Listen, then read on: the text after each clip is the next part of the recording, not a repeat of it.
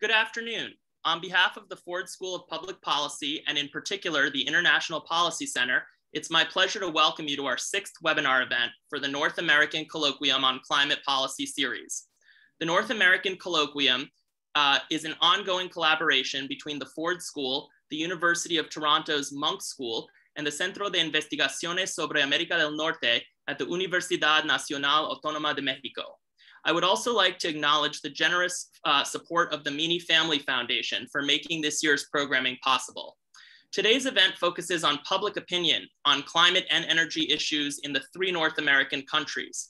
First, we'll hear from Chris Borick and Erick Lachapelle, who will present new data from their ongoing twin energy and environment surveys in the United States and Canada. Then we'll hear from Itzkuauhtli Zamora Saenz, a researcher at the Dominguez Belisario Institute of the Mexican Senate, who will give us a sense of where the Mexican public is on climate and energy matters. As audience members, you can ask a question in writing using the Q&A feature on your Zoom control panel. During the Q&A, we'll get to as many of your questions as possible, but apologies that we will not be able to get to all of them. We may go about 15 minutes beyond the scheduled end time of 1 p.m. local time to accommodate as many questions as possible. At this time, I'd like to turn things over to Barry Rabe, who is the J. Ira and Nikki Harris Family Professor of Public Policy and the Arthur Thurnau Professor of Environmental Policy here at the Ford School, to introduce Doctors Borick and Lachapelle. Barry? Thank you, Josh, uh, for the introduction. And I also just want to thank you for your stewardship of this entire colloquium project. It's just been terrific to have all of this important work uh, under your leadership. So thank you. Um, I'm very excited about the chance today to do something that is done relatively rarely in environmental policy. And that is to work across national boundaries, but think about questions related to public public views, public opinion. I want to thank all three of our distinguished visitors today and want to say that I'm very much looking forward to their role, their, their, their contributions and thoughts on all of this. And I also want to acknowledge that I will be, as Josh mentioned, introducing our first two speakers because uh, their work is a formally joined type of a partnership involving a look at public opinion on some of these various issues in the United States, but also Canada, presenting some very recent work, but also some prior work that they have done.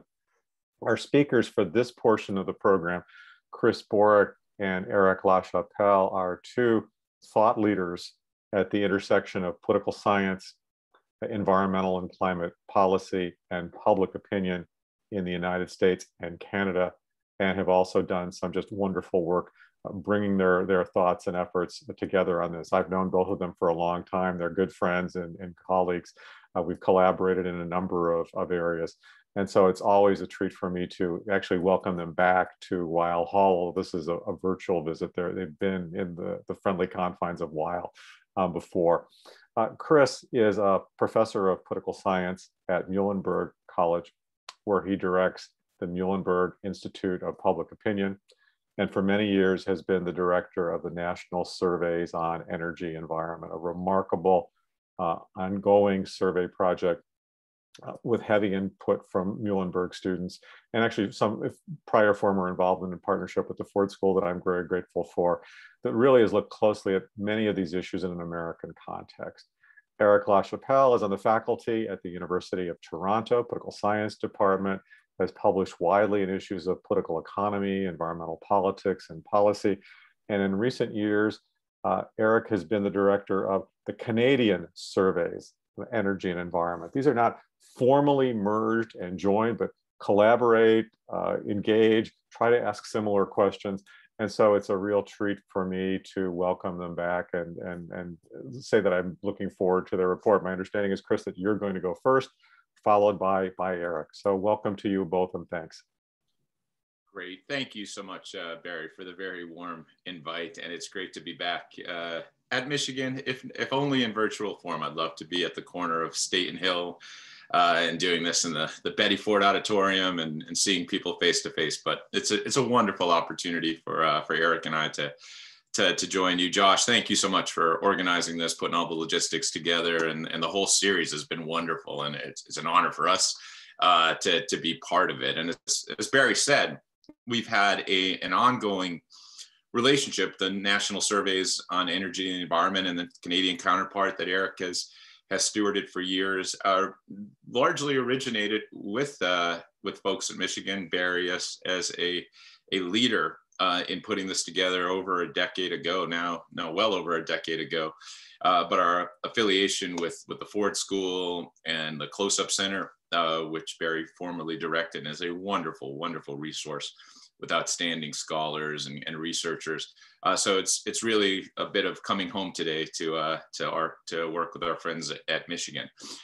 So with that, we're going to take you through a little bit of a journey uh, through our research on Canadian and American views um, on climate matters, broadly defined. Uh, and Eric is actually going to lead us off uh, today. We, we decided Canada first uh, in in the order, uh, and then to the United States. And as you can see, Eric is is getting the uh, our slides booted up. And without further ado, I'll turn it over to Eric to take us to Canada, and then we'll cross the border back to the United States before heading south to Mexico. Thanks, uh, thanks, Chris, and thanks, uh, Josh and Barry, for the invitation. And it's great to be here. Happy spring, everyone. Um, I guess we're going north to south uh, today. So we'll start off in Canada. Um, and by the way, I am at the Université de Montréal. As much as I'd love to be uh, at the in Toronto, I'm from Toronto. Um, just wanted to make that uh, clear. Uh, so as, as Chris mentioned, just a very high level perspective, kind of the view from 20,000 feet. We'll start with the Canadian perspective, then jump to the United States. And if time allows, we'll do some comparative perspective. We would have loved to present kind of um, a comparative poll, uh, including Mexico, but that will be for another time. Uh, so I'll be speaking today, drawing mostly on the Canadian surveys on energy and the environment. So this is a data set that goes back to 2011. Uh, so quite a few uh, observations. We have an N of 11,738. These are based uh, using the same methodology as uh, the American, the American surveys that Chris will be talking about. So these are random digit dialing telephone surveys, very high quality representative samples of the Canadian population. But I, I will also be drawing on uh, just towards the end of my presentation on a 2019 post-election survey that we did here in Canada. Uh, this was administered online by Leger, uh, and it has an N of about 2,500. And just some highlights of, of what I'll be speaking today um, first is that there's uh, considerable evidence of polarization in Canadian attitudes towards climate change. And I think that's an important, something important to kind of tease apart and look at uh, because we're, we're, there's a lot of research coming out of the United States and a lot has been documented on uh, polarization in that country. It's an open question of just how polarized publics are in other parts of the world. So this is kind of a, an, an exciting uh, avenue of research and a way to present the Canadian data that I hope folks will appreciate. Secondly, I will look uh, specifically at some contentious policy issues uh, related to climate change in Canada, uh, notably carbon taxes, pipelines, and nuclear energy. And thirdly, uh, I'll just look at, there's a lot of evidence and a lot of speculation in Canada that um, environmental and in particular climate, the climate change issue is politically important. Uh, there was speculation that uh, it was one of the most defining issues in the 2019 federal election. So we'll, we'll be looking a little bit about uh, a little bit at the issue voting in, the 2019 federal election. So to begin, um, this is kind of the, the high level uh, primary belief question that we use in Canada and the United States. Its um, question wording is there solid evidence that the average temperature on Earth has been getting warmer the past four decades? So it's really looking at the temperature trend or the perceptions of a temperature trend. Uh, overall, if you look at the black line at the top, that's the overall average in Canada, which has tended to be fairly consistent, uh, at least relative to what you'll see in the American data set. Uh, but nevertheless, uh, an increase in from about 80% of, of, population that believes uh, there's solid evidence of climate change to uh, close to 90% in 2018, falling off a little bit uh, in the mid 80s since then. The red line looks at the, the perceptions of Liberal Party of Canada supporters. And you'll see here that um, it's been fluctuating a little bit around the 90% level. Uh, the green line is not the Green Party of Canada, it's actually the NDP.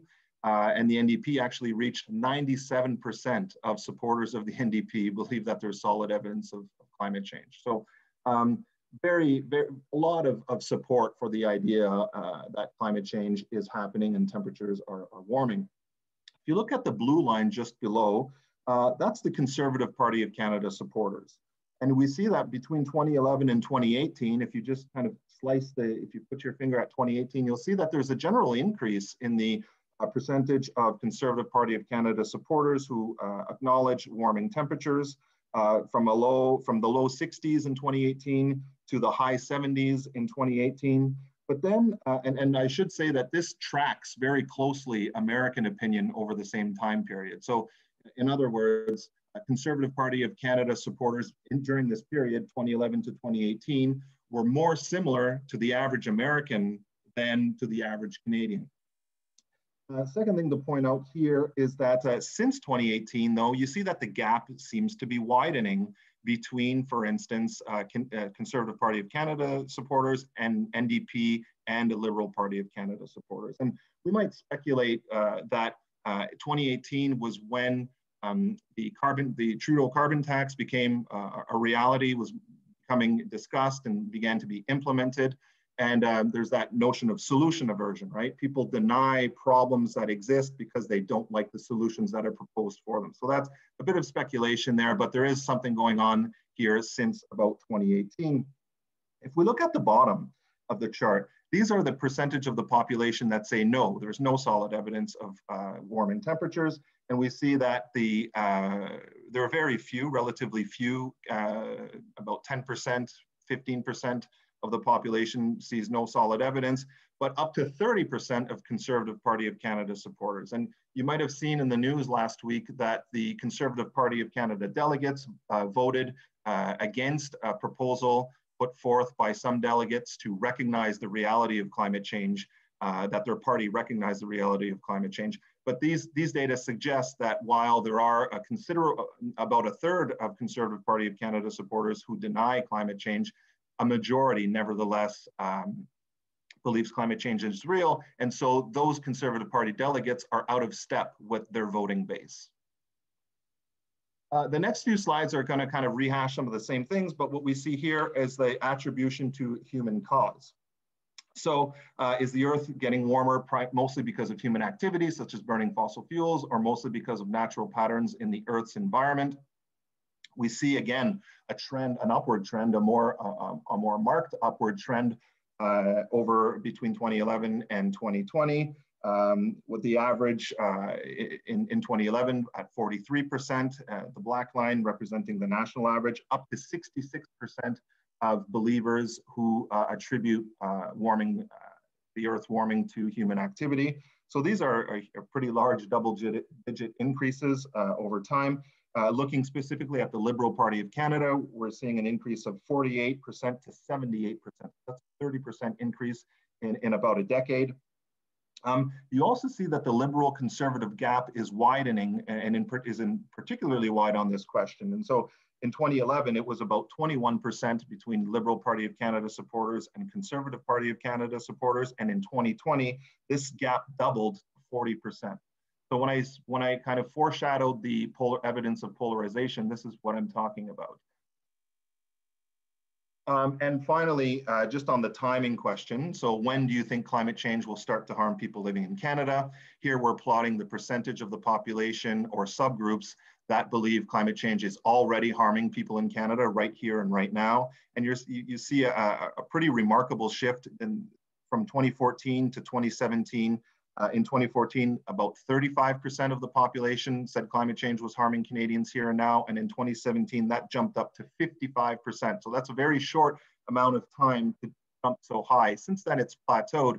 But this is very much, I think, a product of the impacts of climate change that we've been seeing in that time period. The, the, the forest fires uh, in, in the west and the flooding in the east, which is really bringing the effects of climate change close to home for a lot of Canadians. Uh, again, though, we do note that the uh, Conservative Party of Canada is significantly and substantively much lower in the probability of um, saying that climate change is already harming Canada. And that gap again widens if we compare the, the size of the gap between 2014 and the size of the gap in 2020. The gap is much larger uh, in more recent years. Now I'd like to talk a little bit about policy support. So this slide goes over uh, some public opinion on a variety of proposals that are discussed in Canada.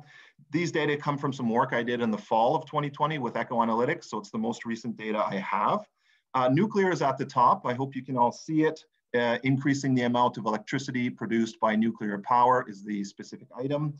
Uh, and here you see that it's highly polarized with about a quarter uh, who strongly support increasing the amount of nuclear energy uh, and a quarter who strongly oppose increasing the amount of nuclear energy.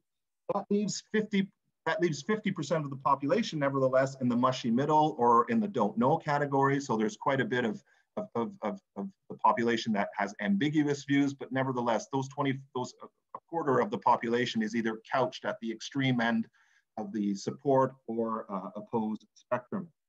Now, support tends to be concentrated among men, English speakers, supporters of the Conservative Party of Canada, highly educated and wealthy Canadians. In fact, English speakers are twice as likely at 60% to support uh, nuclear energy relative to French speakers at 30%.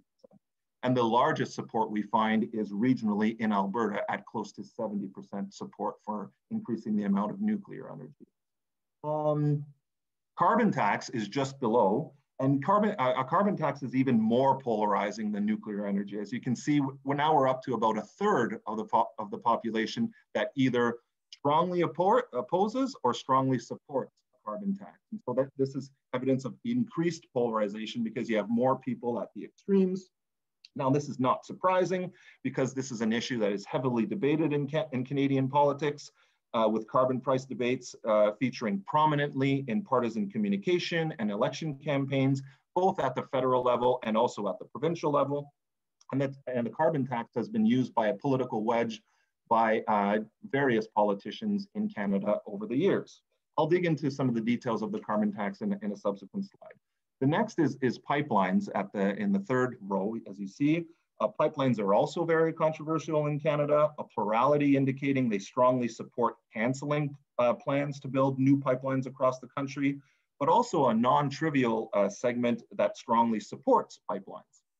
Um, this kind of public sentiment may be another factor that could explain the puzzle addressed a few weeks ago by Daniel Béland and André Lecours, who presented in this colloquium series regarding why pipelines are more politically contentious in Canadian federalism. And finally, I just wanted to draw your attention towards the, the last row where we're looking at nature-based solutions. There's a lot of talk of nature-based solutions uh, across the world and in Canada. In 2020, we found overwhelming support, at least in principle, for nature-based solutions as a means of addressing climate change. To be sure, nature-based solutions are, um, uh, are, are, gaining traction. Uh, here we see that uh, uh, of all the policy proposals, uh, na nature-based solutions get the most support.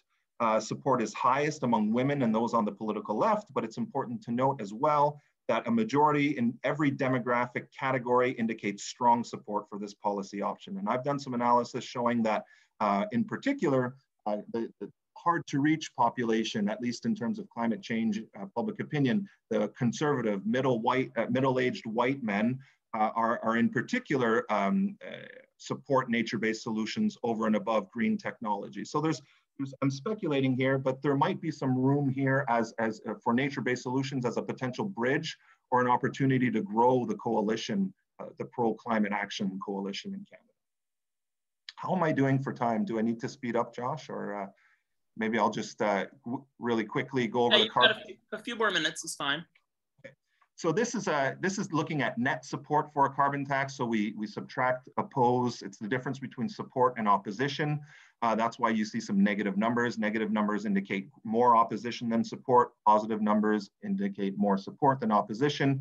You can see the black line is again the national average. So uh, very divisive, at least in the initial years, 2011, 2013, 2014. We're looking at 50-50 splits, but a net support increases over time uh, as Trudeau is implementing this carbon tax. It's particularly high amongst liberal and uh, uh liberal and NDP voters. But look at what's happening with the Conservative Party of Canada voters. Like just plummeting over time, right? Uh, and you might ask why uh, this, what's driving this polarization? Uh, this comes from a survey I did, I think in 2019, where I, am looking at the interaction between uh, how much people say they've heard about the federal carbon pricing plan and how much they uh, support or, or, the probability that they support. And you see that the more liberals in the red line, the more uh, a Liberal Party of Canada supporter has heard uh, of, the, of the climate change plan, the more likely they are to support, uh, almost uh, you know, at, at, a 90% probability.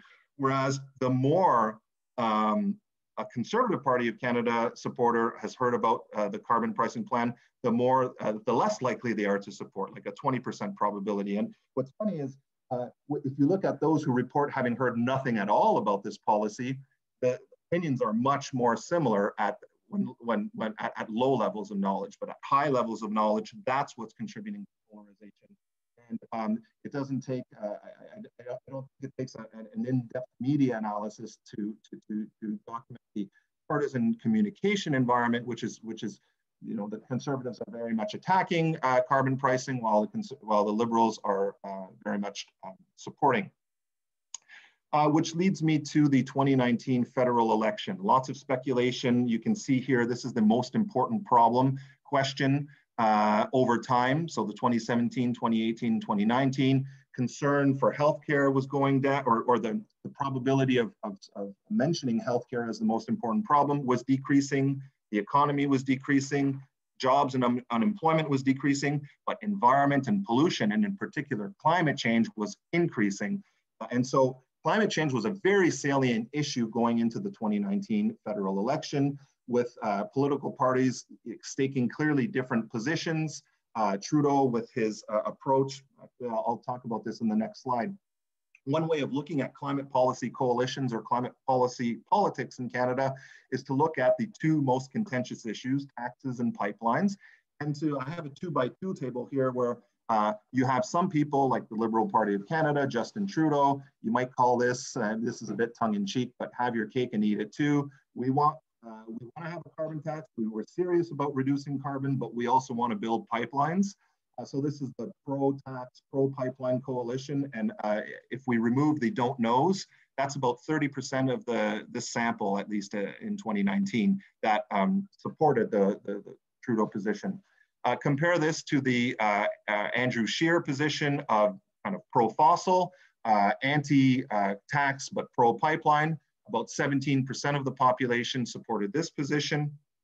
Um, then you have the kind of the more consistent environmentalist position, which is pro-tax, anti-pipeline. That represents about 19% of the population. And then I didn't know what to call the anti-tax, anti-pipeline. So there's that CAVE acronym, Citizens Against Virtually Everything, or it might actually be the anti-tax environmentalists who um, don't support a carbon tax for a variety of reasons and are against pipeline, but that's 20, that's not an insignificant percentage of the population at 25%. I really like looking at, Canadian politics or, or, climate politics in this way.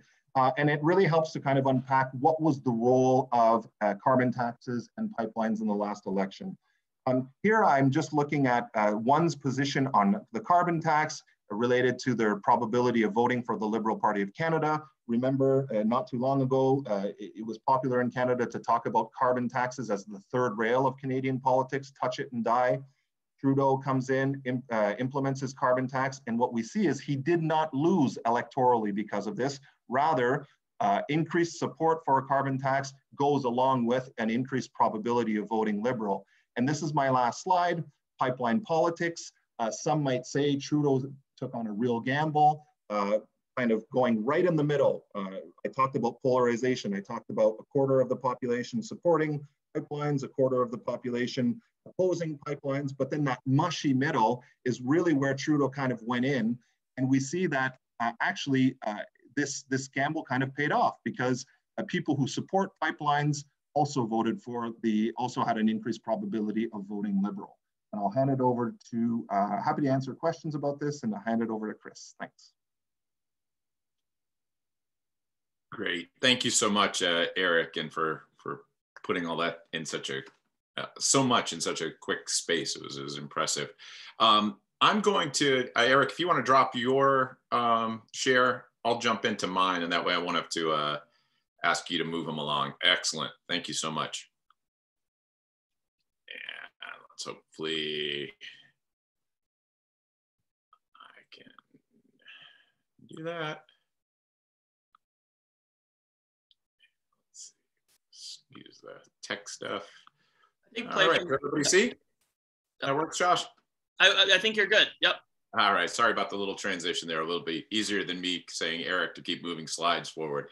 Uh, so yes, we turn to the uh, the view from the United States, um, and uh, as Eric mentioned, we have lots of comparable points, comparable framing of questions over well over a decade now, which is which is great. Um, and so I'm going to use the data that I'm going to report today is, is primarily uh, from the NSEE, uh, National Surveys on Energy and the Environment.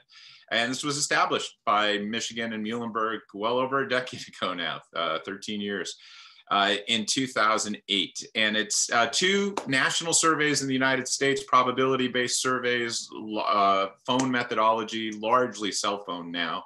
Uh, that's we've kind of been over the arc over our history of moving from from landlines to to cell phones, uh, and this is a great example of of that. Um, the partnership between uh, UM and, uh, and Muhlenberg uh, lasted between 2008 and 2019. For the last few years, it's been exclusively out of, out of Muhlenberg, but lots of our data uh, and lots of our work has a deep Michigan tie to it, including, I just want to make this point uh, available, all our data uh, over time with, with, a little bit of a lag over the last few years is stored at the ICPSR at Michigan. So it's available publicly. Uh, we rotate in after um, you know a little bit of time in our own hands uh, for public use. So please, uh, if you're interested in the data sets, um, have at them. Lots of great resources there.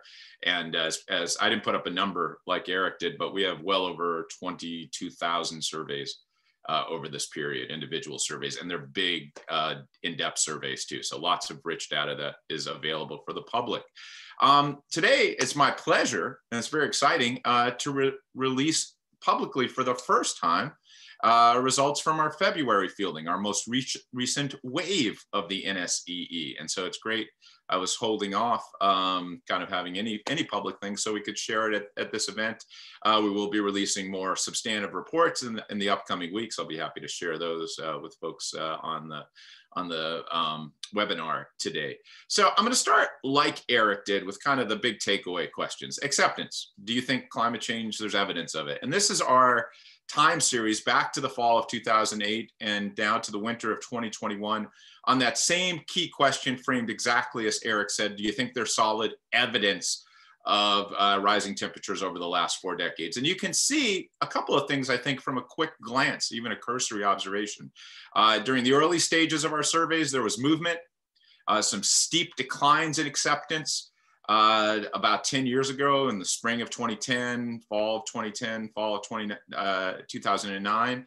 Uh, and then uh, starting about middle of the last decade, some consistency uh, in terms of public acceptance and stability might be the word that I would use uh, to describe that. since the fall of 2015, only once have we seen the percentage of Americans that says there is solid evidence of climate change dropped below 70%, and that was in the spring of 2016. Since then, we've seen it consistently be over 70. And the last two iterations of the survey, the summer of 2020 and the winter of 2021, we saw record high levels, 75% of Americans, that's a nice easy three quarters to say, uh, that think there is solid evidence that climate change is happening. And, and that's uh, our, our record levels. Um, we didn't surpass our record level that we established in the first iteration back in 2008, all the way until uh, till 2018.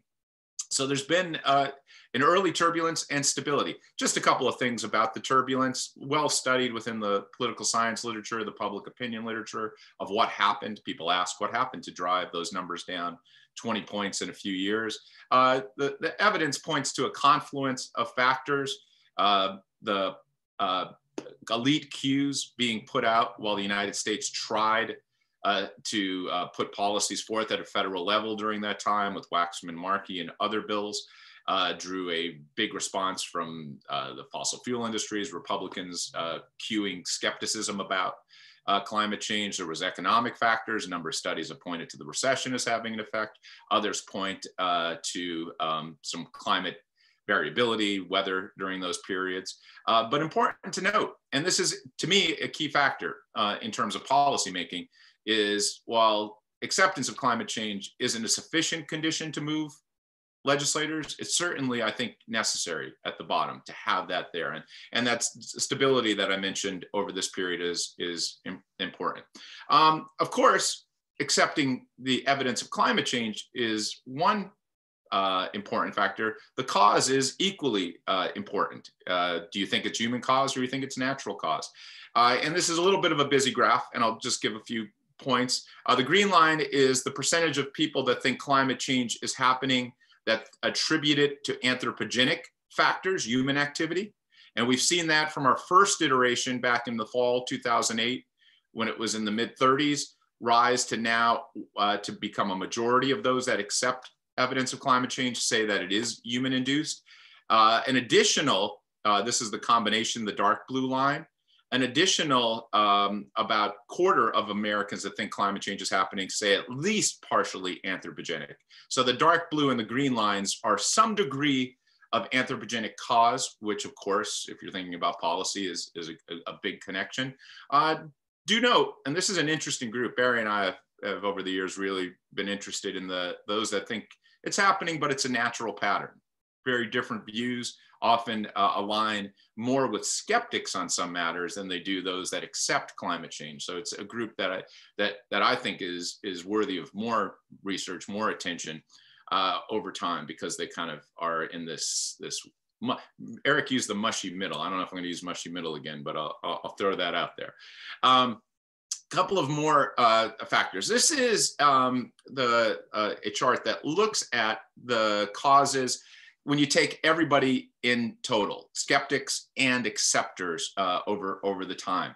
And so the dark purple are those that think climate change is caused by human activity up here, 38% in our latest iteration, 19% uh, uh, a combination, uh, and 16% uh, think that it's it's a natural pattern, and the rest are either not sure or don't think it's happening. You can see as the sum of all Americans, the share uh, of gray and teal, I guess, the light blue, has decreased over time. Um, the skeptics, while the percentage of Americans that think it's happening has increased. And you also see the very important darkening, that very dark purple, right? And the mid purple, those that think it's, it's anthropogenic rising as a share of the entire population. So these are signs of, of Americans moving over the last decade to a more um, accepting position.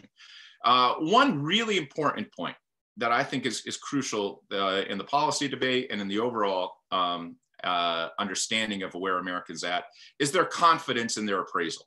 How confident are they that uh, that what they think is happening is actually happening? So they don't just say, "Yeah, I think there's evidence." How confident are they? And you can see this chart. I think is very important. So over time, there were smaller portions of Americans that actually accepted the evidence of climate change, and among that uh, that group, the confidence levels were less uh, strong. They weren't as, as clear. What's really important is if you look in this stage, kind of post spring 15, uh, that I, I, talked about this durability, uh, durability stability uh, happening. Not only are Americans, more Americans saying they think there's evidence, now record highs, but their confidence level in the appraisal is actually higher also. So you're seeing a confluence, right, of acceptance and confidence, which I think uh, speaks to the durability of, of uh, climate opinions. We back when Barry and I started the survey in 2008, our first round, you know, this was Obama's running for president. We hit 70%. We think, well, maybe that's you know going to hold up. Two years later, it's down to 50%. Uh, some of those factors that I talked about changing that. I think it's a much harder place right now, a more solid position and more difficult to change opinion than it was 10 years ago with things like Qs, uh, even economic issues that we've seen over the last year, not moving the dial. So it's, it's an interesting to think about the dur durability of opinions. Um, this is when you kind of put them all together. Uh, uh, people, we ask skeptics how confident they are in their appraisal that it's not happening uh, and look at it uh, comparatively. And you can see 51% of Americans, this is the entire population, 51% now think that they it's happening and they're very confident that it's happening. Even back in 2008, uh, well, I don't have it on the slide. Uh, back in 2010, go back a decade, it was only 32%. Uh, smaller number of Americans uh, accept it, and and the confidence levels were there. So we, have kind of moved to a different spot. I want to I want to finish up with a, a, few slides before we we head to the discussion on on Mexico.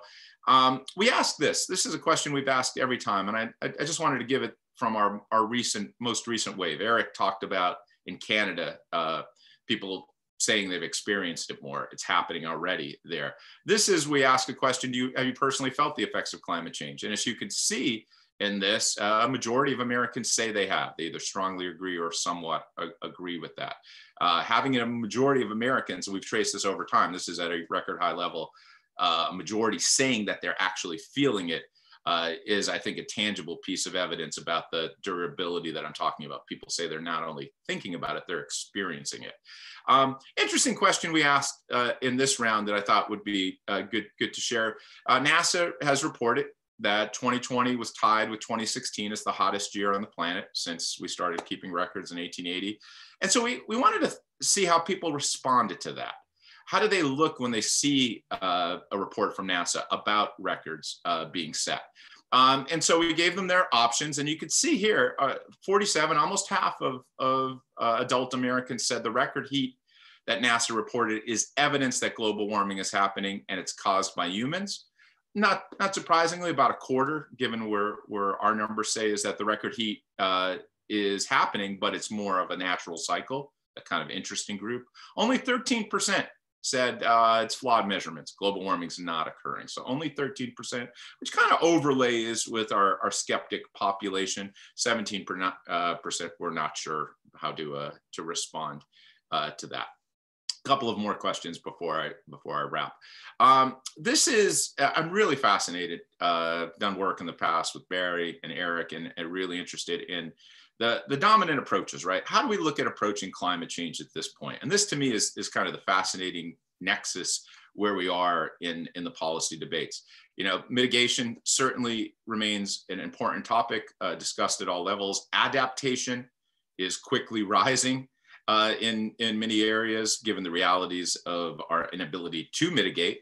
Uh, and also discussion of engineering, geoengineering options. And we've really hit this hard in recent iterations of the survey about the possibility of geoengineering, so sequestration of, of carbon, uh, atmospheric uh, um, uh, engineering, if you will, those types of things. And so we kind of framed it here in this question is, which do you believe is the most important approach to take? And about 40%, the plurality say it's, it's most important to try and reduce climate change.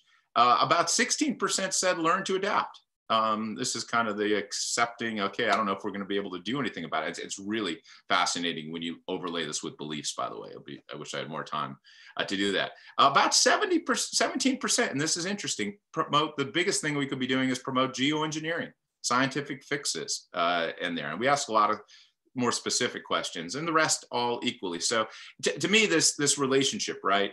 Is it a complementary uh, policy approach where all hands on deck, mitigation, uh, adaptation, and geoengineering, or one substituting for the other, right? Plan B, okay, we can't mitigate, we're not doing it. Should we invest in these other options? So it's, it's to me a, a really rich area to look at. Uh, finally, carbon tax question. We've looked at carbon taxes for years, as Erick noted uh, in the Canadian example. Uh, in the United States, we've asked this question, and this is from our latest iteration. And you could see uh, pretty close to what Erick found on the overall numbers. Canada a little higher, as it often is in support. Uh, but you do see 40% uh, of the overall population that we looked at support a carbon tax. That's that's fairly uh, normal in our numbers, um, and we could frame it in different ways. You see uh, slightly more opposed, the rest neutral, uh, but those partisan divides that I could have layered into almost any of the questions I showed today, uh, uh, highly on display, right? A majority of American uh, Democrats support, only 12% of Republicans support. And as you try to move carbon tax legislation, uh, and get the support of, of at least a significant uh, portion of Republicans, that becomes challenging. Uh, so with that, I think we are probably uh, uh, at our time and we could talk maybe in the question and answer about some comparative perspectives, but I wanna make sure we have time to move on to, to Mexico um, at this point. Hey, thank you so much to you both. It's always so interesting to get each of your perspectives, particularly given the longitudinal nature of your work and the ability to look at these trends and patterns through the same survey over a period of time, much less begin to bring them together. I just wanted to ask one initial question and then hand things back to, to Josh. And that is, um, you know, Erick, you and I have had this conversation for a long time about differences and the challenges of meshing any Canadian and American climate policy because of political differences, including the parties that occupy the heads of state role. And yet it would seem, given the developments of the last, literally the last few weeks, including the initial Zoom US Canadian summit, that there might be a level of alignment. And yet when one looks at the policy outcomes, right now, fundamental differences. Canada is on a march first to a $50 a ton carbon price and perhaps well into triple digits. The US remains lodged at zero and may well remain at zero in terms of carbon price and on. And so my question to either of you, if you'd like to comment on this, drawing on your public opinion work or thinking about overlap between public opinion and politics, should we see this as a moment where the stars could align and we could see these two massive neighbors, huge economies, fossil fuel dependence, really begin to coordinate and develop similar kinds of policies or are the fragments and the differences and even some of the opinion variation that you see just too great to expect that? Any initial thoughts on that, drawing on the entirety of your, your work in this field? It's a great question. I'll let Erick lead off. Uh, I think hearing the kind of Canadian perspective is, is, is fascinating. Yeah, thanks, Barry. That's a great question. I think it, there are two, I think I can answer both ways. I mean, on the one hand, I, am tempted to say um, no, because uh, just on the coordination, I mean, I think the Canadian federal government has a hard enough time coordinating across provinces, uh, let alone uh, cross nationally with the United States.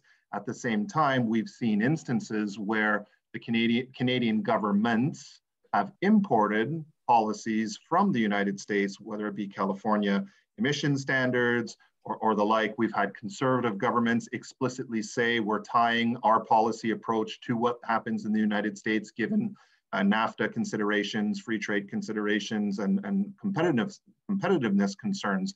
So I do think that uh, this, this conversation of coordination cross-nationally won't necessarily be a binational conversation. It could potentially be one where Joe Biden starts thinking about border carbon tax uh, adjustments, and then inevitably Canada and Mexico would probably be brought uh, online. But um, again, I, I, mean, in, in terms of a coordinated carbon tax, I'm highly skeptical. Uh, but I do think that there are particular policies um, that, that could spill over into Canada as has been uh, the past.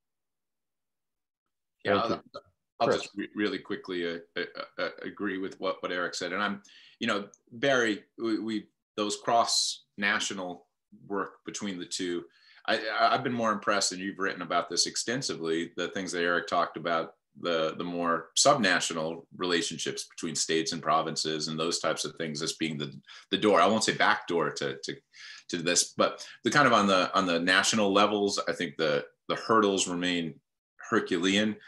Um, but things as the last point that Erick mentioned, you know, about about maybe uh, you know thinking about border taxes as a way to open options uh, for the Biden administration as they look at ways to, to possibly broach a carbon tax, um, some form of carbon tax, seems to me to at least have a possibility because it might be seen as, as some ways indirect cost. We know that from the research, lots of greater support for those types of, of avenues compared to more traditional, you know, gas taxes or anything else like that. So um, still a, a reach, uh, but but certainly I think some of the underlying factors that we saw today opened the door for that to be more considered. Maybe we could talk about that in the question and answer.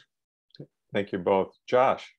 Great, thank you, thank you both. That was really informative. Um, at this time, I'm going to introduce our next speaker who will talk about Mexico. But before I do, a reminder to the audience that you can use the Q&A button on the bottom of your uh, Zoom control panel to ask a question of any of the panelists in writing. Uh, if you would like to direct it to a particular panelist, please just state whom.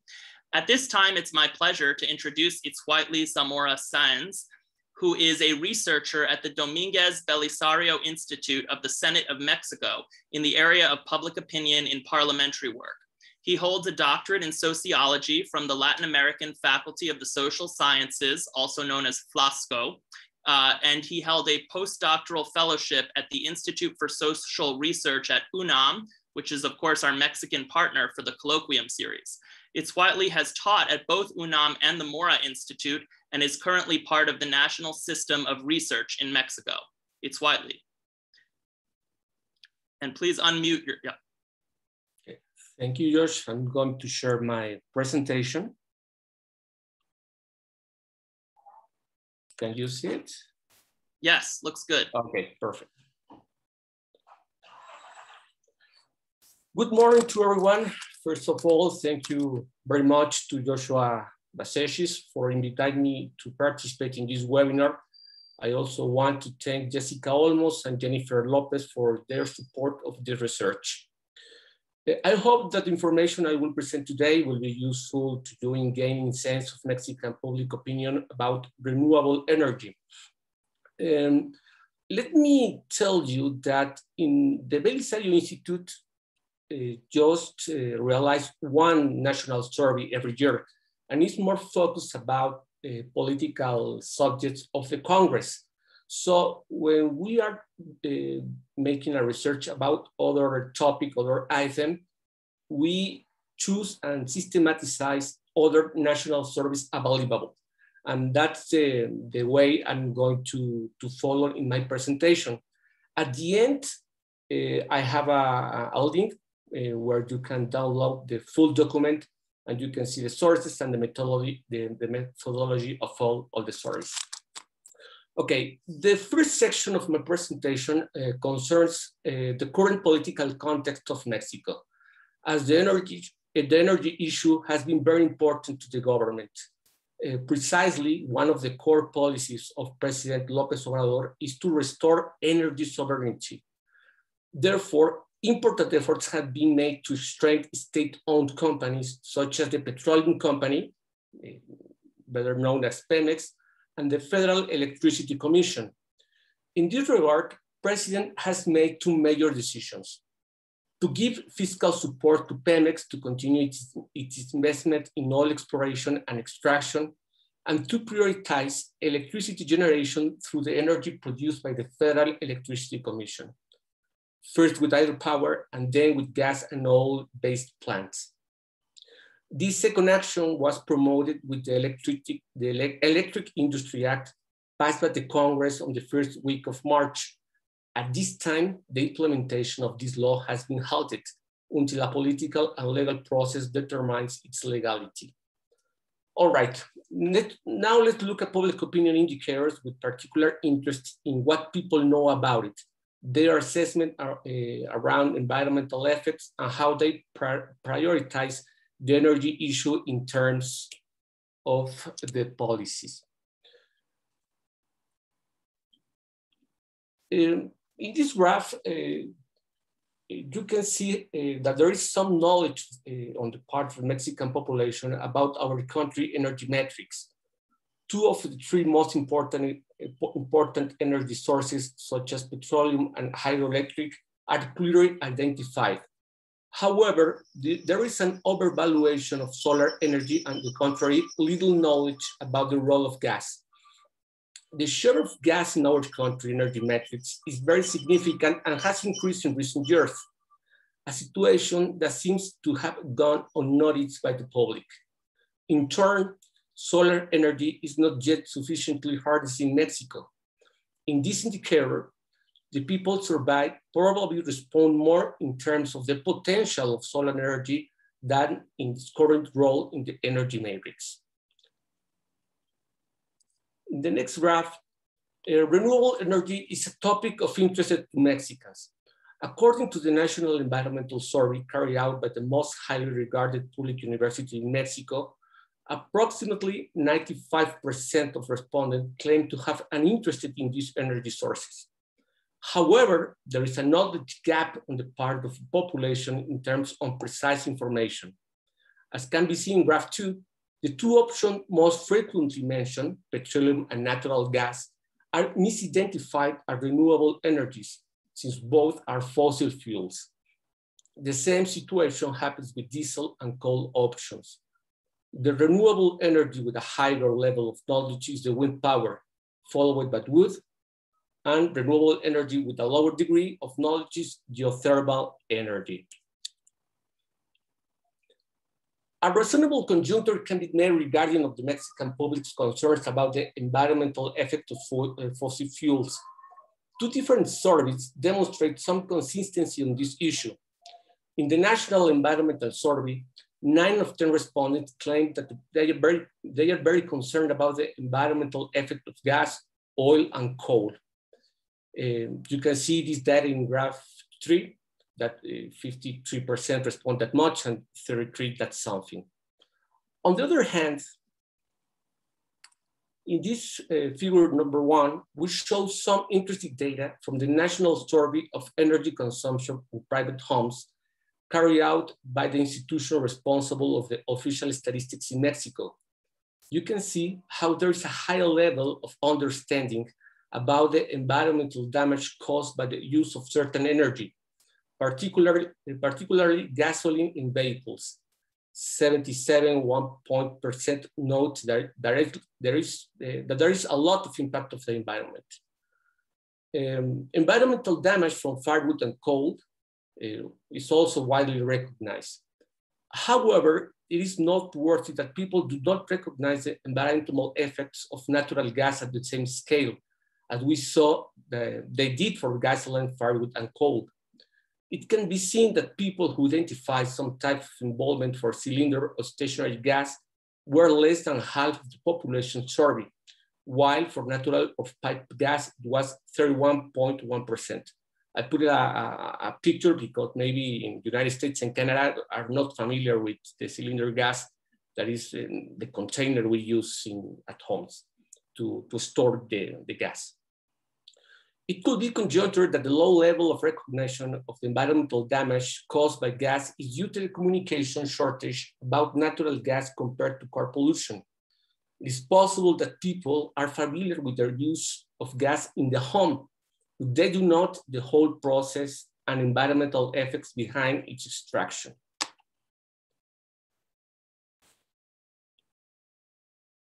In this um, graph number four, uh, we show the perception of Mexicans regarding the future of energy sources. It identifies great optimism that in the medium terms, and it means 15 years, there will be a greater capacity to take advantage of renewable sources such as wind and solar to generate electricity in the house. There is also a majority of the survey population that is confident that the people will improve certain habits related to the use of fossil fuels, such as gas and petroleum derivatives, as well as in the use of electricity. Public opinion was divided on the future availability of gas and gasoline, as 44.4% respond that they will be depleted in 15 years, while 42.5% say that will, be not, will, will not be the case. Finally, a negative perception prevailed about the possibility that gas and gasoline could improve to reduce the environmental, their environmental impact. In the chart, uh, number one shows a comparison of three surveys that allow us to identify the place of climate change and energy on the citizen agenda of priority problems to be solved with better laws or with, develop, uh, with the development of science and technology. I highlight climate change in the table because one of the most intentionally recognized, internationally recognized policies for its mitigation is precisely the development of renewable energies. In the 2019 National Survey of the Senate, people place climate change in seventh place among environmental issues that need to be addressed with more comprehensive and stricter laws with 24% of the mentions. Although percentage-wise it is far from the first two places, it's significant that air pollution, effect of the fuel, uh, fossil fuel use, take first place and the deforestation, cause of climate change, that's, uh, takes second. In the survey of the city's science and technology agenda for 2018, climate change ranked third, while energy ranked fourth. For its part, the National Science of Technology Survey, climate change ranks fourth as a problem that science should have, should have to solve over the next five years, while energy ranks seventh on the list. Finally, another uh, very important topic that informs public opinion on energy in Mexico is related to one of the strategic projects of President uh, López Obrador, that is the construction of the Dos Bocas refinery in Tabasco. The construction of this infrastructure work is part of the, of of the Obrador administration actions to restore energy sovereignty. As you can see in the, in the next graph, in the graph number five, uh, this action is recognized for more than the half of the population. Graph, uh, graph six show that this project is considered to be the second most important only behind the construction of the new international airport. In this, uh, the last two, two graphs, uh, not only uh, do, do, people know about the project and recognize how important it is to the, to the government, but there is also significant social support for it graph number seven, show how, uh, that the 70, uh, 67% of Mexicans agree, agree with the construction of the refinery. Only two of 10 people claim to disagree. Finally, graph eight shows that benefits are most recognized for different sectors. There are thought to be practically, uh, practically, uh, practically the same level of benefits to the state of Tabasco where the refinery is being built, uh, built as to the country as a whole. 56% of people, regardless of their economic status of they have a car, feel uh, they will have benefit from this project. It will, be, it will have been interesting to include among the answers the benefit to the environment to see what the population were responding to. Uh, with this view of the, of the refinery, it seems to me that we have enough information to say that despite the interest in alternative energy sources, oil and its derivatives are regarded by the Mexican population as fundamental elements in designing economic development policies, as it was in the 1950s and the 1960s. This longing for the welfare state of that time allows to understand to some extent the social support that the energy policy of the current government has. With this idea, I'm done, and thank you very much. Thank, thank you so much, Itzkuauhtli. It was really great to be able to have uh, some information from all three countries in this um, event. So we really appreciate your uh, presentation. Um, at this point, uh, we have time for a couple questions. Um, so I'm gonna lead with a question from uh, uh, Kaitlin Raimi, who's on the faculty here at the Ford School. And um, she, she has a question about the slide that Erick showed tying uh, polarization to self-reported familiarity, um, wondering if perhaps um, there could be a different causal direction um, and, and noting that her work shows that people who feel superior about their own views then tend to overestimate their knowledge and engage in selective seeking out of news sources. So uh, what are your thoughts on that? Thanks. I think that's a that's a great question, and I, I don't know if I inferred causality. I guess I was speculating a bit. Um, I think both are plausible um, explanations for that uh, interactive relationship. Um, uh, I think though an important point, and I don't know if it's worth me putting it back up that slide, but uh, an important point I think is um, uh, that the Conservative uh, Party of Canada supporters and the Liberal Party of Canada supporters are exposed uh, to different kinds of information. Um, and I think that's really uh, important to, to consider. Now, whether or not that is causing them to support the carbon tax or whether or not it's their kind of pre-existing, uh, I guess, belief superiority or partisan identification or partisan predispositions, I think is an open question. And I don't have um, uh, any kind of data or experiments done to kind of tease that out, the arrow of causality, but I think it's a very important point uh, to raise that it might not necessarily be uh, information randomly kind of transmitted to these individuals that's making them, uh, it's probably, there's probably some self-selection going on here with uh, partisans looking at different types of information depending on you know who they follow on Twitter or who their what their networks are on on on Facebook and that sort of a thing. Thanks for the question. Great. Did Chris was did you have anything to add or is that pretty much are you good? Okay, thumbs up. All right, so the next question um, deals with uh, carbon taxes. Um, and it's uh, asked by um, Newt Nadelhofer. And he's differentiating between a uh, carbon tax generally and a carbon fee and dividend uh, plan, um, with, with uh, which is a, a, apparently what Citizens Climate Lobby and the Climate Leadership Council are proposing. Um, do you have any, did you ask about that level of distinction or do you have any insights about how the public might feel about that distinction? Yeah, Josh, and, and Newt's point is, is very important. Framing of carbon tax and the use of dividends has significant impact on public support. We've tested this in various forms, various frames over various iterations, um, and have found um, important differences. It matters, right? So, for example, and we didn't do it in this particular wave. We just asked the the kind of neutral uh, uh, framing that I presented and that Erick ran in Canada at the same time. But we have, including kind of matched uh, Erick over time uh, test on dividend use. Um, the most popular dividend use by far, which raises overall public support, uh, are, are two things transferring any dividends uh, to renewable energy use and development. That score is consistently popular, uh, dramatically raises support for the mechanism as a whole. Uh, the other is in some type of revenue neutral uh, return to citizens, basically using that money that's generated in some kind of offset for something like in, income tax. Uh, other uh, affixed sources or uh, destinations for the revenue don't po pose uh, as great success. We uh, tested things like debt over time, using it to pay down debt or deficits.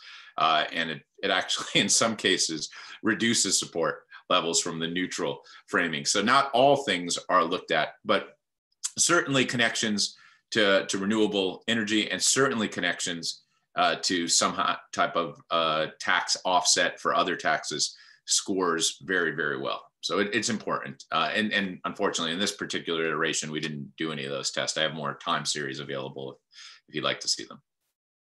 Great. Well, thank you so much. Um, the Q&A is still open if anyone would like to submit additional questions, but I guess I'll ask a question in the meantime, which is, um, you know, it seems as though uh, obviously that you know the data that Itzkuauhtli presented was not exactly comparable with the data that Chris and Erick did, but nevertheless, there seems to be a clinging on to more traditional sources of energy in Mexico, oil, gas, a sort of um, there seems to be more of a meeting of the minds as, as barry uh, alluded to in his question between canada and the us um, despite some um, differences as well. Um, so this is a question I'd be curious, Itzkuauhtli's uh, perspective, but also Chris and Erick, if you have anything to add. You know, one major difference, of course, you know, is just in terms of the resources that Canada is already so reliant on hydro and nuclear, which are non-emitting sources. Um, to what do you attribute sort of the distinction between Mexico and how the other two are seeing renewable energy? Do you think it's because of uh, more like government factors like the Obrador administration and his policies, or more about just the resources that are available in each country? Maybe with uh, with the answer, I can touch a little bit the question of Barry uh, Rabe, no, about the the coordinate, the regional coordination, the possi the possibility of that. And I think that in Mexico, the the, the population ha, uh, have an extra, a strong idea of, the, of that the petroleum is uh, very important for the economic development. And this is the, the, the narrative and the, the political discourse that we have uh, heard in the last 50 years. Petroleum, uh, the oil is ours and is to improve the quality of, of life you know, for all of the Mexicans. So with, in the last administration, we, we shift a little bit about uh, to change the, the energetic matrix to improve the renewable energies, you know, to open the energy to the private investment. And with uh, the political change, uh, the, the, the, discourse of, of the president Lopez Obrador was the, that in first, in, in first place, that all the, the this uh, private investment was part of the big, the big corruption that has Mexico. So uh, we cannot, uh, we must stop that opening because it's just corruption. And it was, and in the second place, this uh, shift of the last administration was just to sell and uh, to destroy the, the Mexican uh, state-owned companies of the electricity and, and petroleum um, because of the neoliberalism.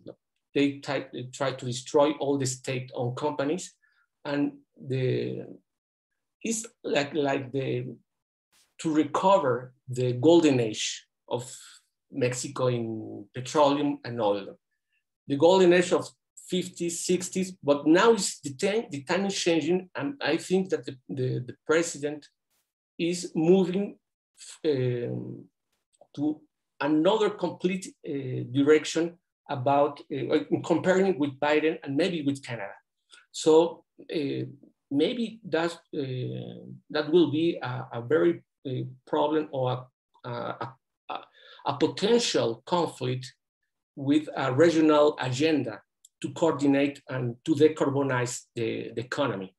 Because we are moving forward to another completely direction uh, because of do two that's that two main ideas that I, I I told you know the private investment is corruption and we need to return to the golden age of the welfare state that we uh, improve that improve the, the quality of the life of, of Mexicans.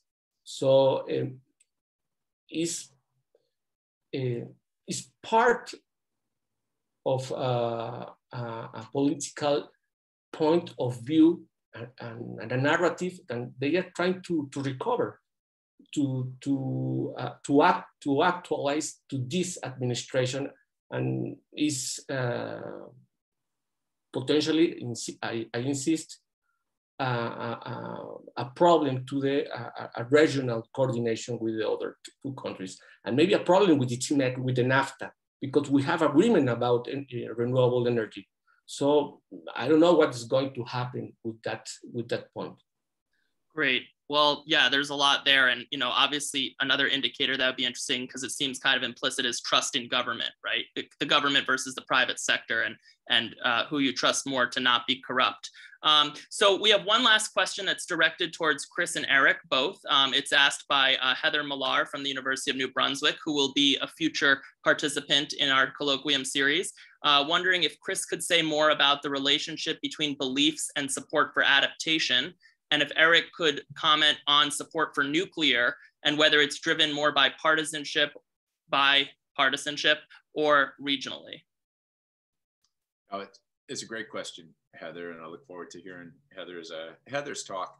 Um, yeah, we we've broken it out. So there's different you know tests that we could use about adaptation. Playing it in a kind of a zero sum game where people have to pick the most important adaptation versus mitigation versus geoengineering, or just more neutrally framed perspectives on adaptation. So there's different ways we can kind of look at underlying beliefs. One notable thing from our early cuts on the 2021 data uh, and overlaid with some previous studies is that that group that we talked about, the I, they think there's evidence of climate change, but attribute it largely to natural cycles, um, are very much when you kind of pose it in a zero sum game, more likely uh, than those that accept, uh, and more likely than those who deny climate change to uh, support adaptation as their choice on that list. And again, I, I bring up the slide. I wish I could do that without probably confuse people by the way I said it, but it's really interesting, right? Because it makes intuitive sense. I think back to Heather's question is they don't think it's happening because of anthropogenic factors, but it's happening. So how do you deal with it? Mitigation declines relatively to adaptation measures. Uh, and geoengineering, I think, also relatively declines because geoengineering is seen if this is a natural cycle, can you really change it uh, as opposed to countering human induced factors. So it's really fascinating relationship. Lots more there. Uh, Heather, I'm sorry if I didn't lay it out as good, well as it may be, but I'll turn it to Erick at this time. Who will improve? I doubt it, but I'll try. Um, on the nuclear question, I, I, you're kind of anticipated. I ran out of steam or time, probably combination of the two. Uh, and I wanted to run some kind of analyses on, on the nuclear question over and above kind of like the bivariate analyses that I kind of presented. And so I didn't quite get to, uh, I was really close to answering your question, Heather, and I'm, i really regret it now, but um, because you, you asked the question I wasn't prepared for. But I can tell you, I did nevertheless look at those bivariate relationships. And so while not controlling for partisanship, looking at regionalism is where you find the, the largest differences.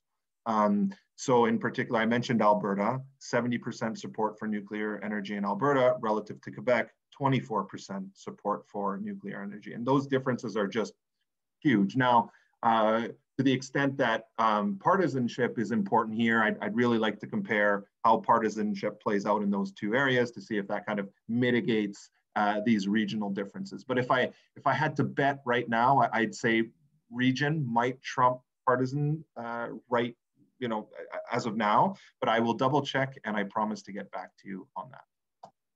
Great. Thank you so much, Erick. And uh, that's all the time we have. Thanks to those of you who stuck not only towards the bitter end, but 15 minutes over. I think it's really a testament to uh, how fascinating uh, the presentations were. And um, we hope you'll join us for our next NAC webinar event on April 8th at 1 p.m. Eastern Time.